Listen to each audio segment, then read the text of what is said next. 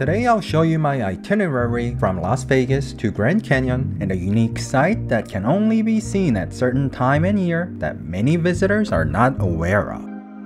As soon as I left the city boundaries, bare golden hills and mountains were in sight. Just 45 minutes away from the airport, I came across Scenic View.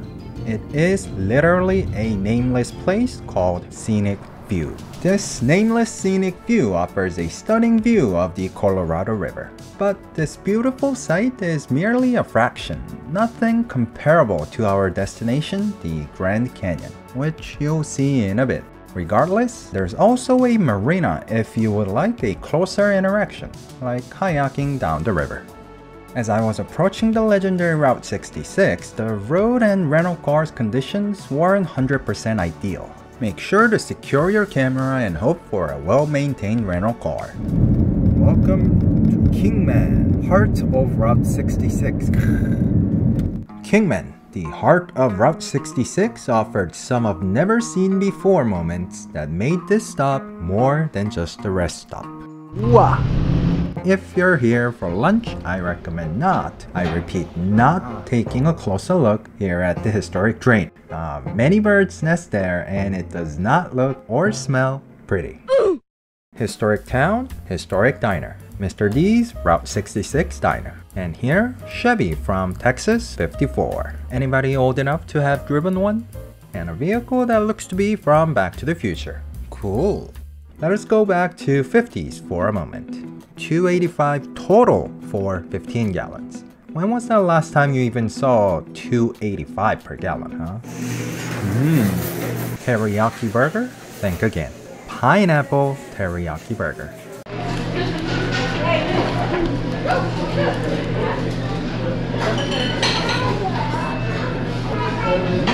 Very sweet and highly recommended for those who have a long drive ahead.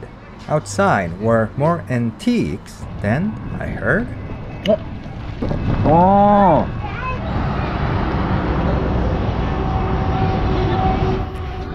Here, we're in Rural West. That cargo train took about 3 minutes to clear.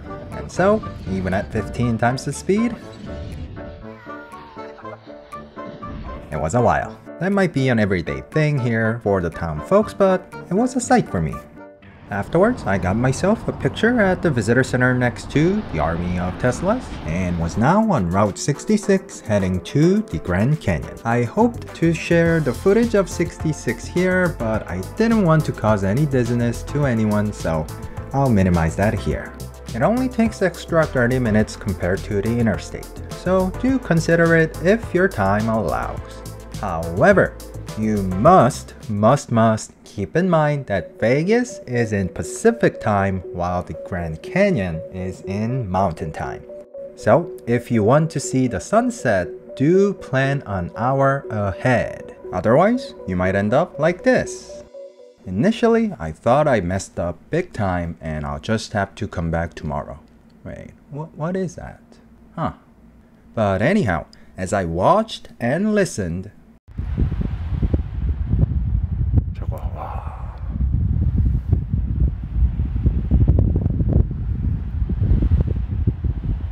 this mistake actually turned out to be the best mistake ever. Here, listen to the wind coming from the distance. The noise, the sight was stunning. So stunning that even as I was eating my dinner,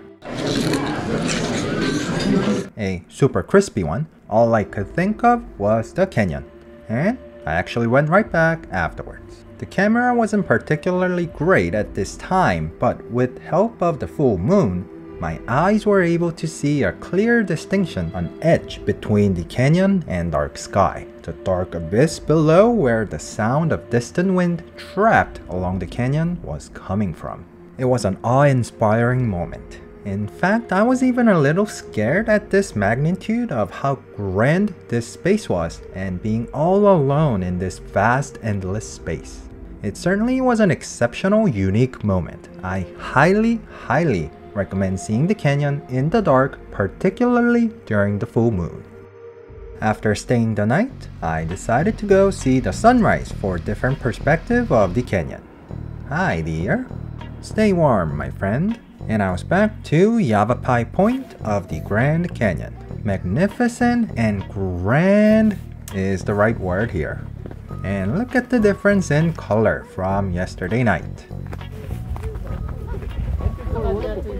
Also different than yesterday night is the existence of other guests. Though much more colorful, you probably won't be able to completely submerge into the void like the feeling of being all alone in the vast space like I did yesterday. But seeing the lifeless, colorless canyon first, and then seeing the sunrising canyon where picture was slowly saturating into life really completed the picture for me.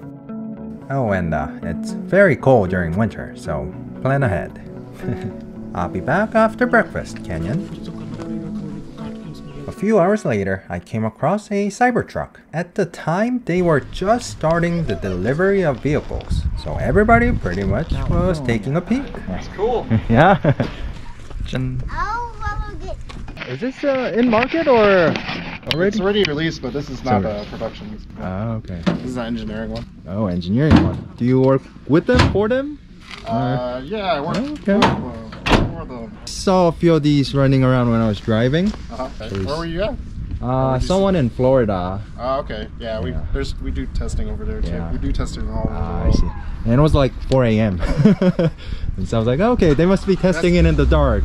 Yeah. Well, it's easier to go at night. Less, Yeah, less people. less people, right? Okay. Here to see the canyon? Yeah. Well, I, Or are you test driving this on the canyon? I mean, I look at Uh, a little above. Okay. Uh, You don't have to tell me a lot if you don't. Yeah, we're doing like- some testing, Okay. it's also a little awesome. Awesome. Thanks so much, guys. Quickest way to make new friends? Cybertruck.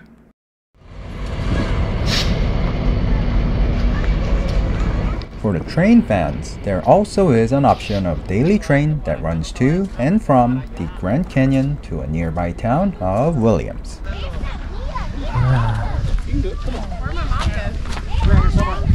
This was around 11 a.m., fully lit in colors and many popular points like Mather Point start to fill up.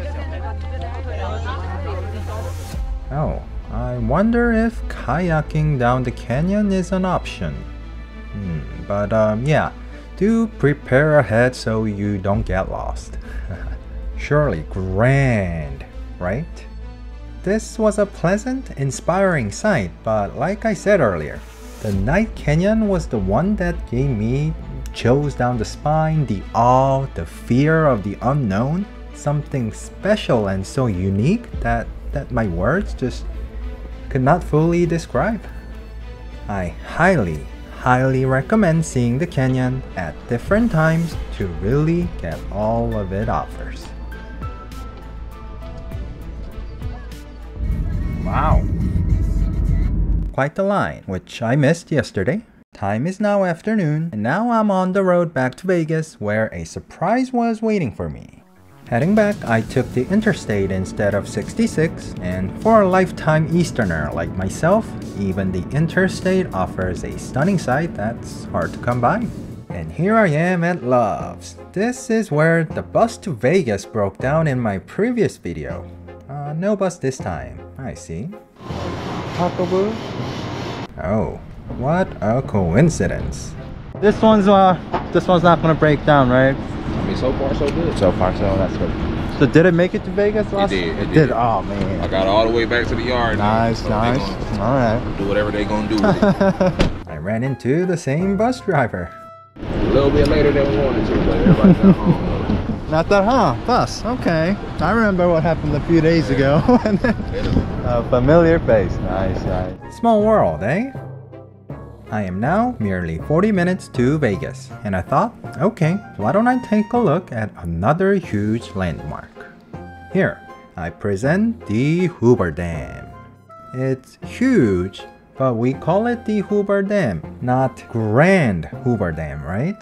So it sure may be an architectural might, especially of the time, but it appears cute in comparison to the Grand Canyon. If you want to see both, look at this one first. And finally, I am back to fabulous Las Vegas! Yay! Where dinosaurs freely roam and every hotel is looking to cash in on your wallet. In the next video, I'll show you around the Fremont area of Las Vegas. 이제 시간 12시 1분. Yep, this Fremont area.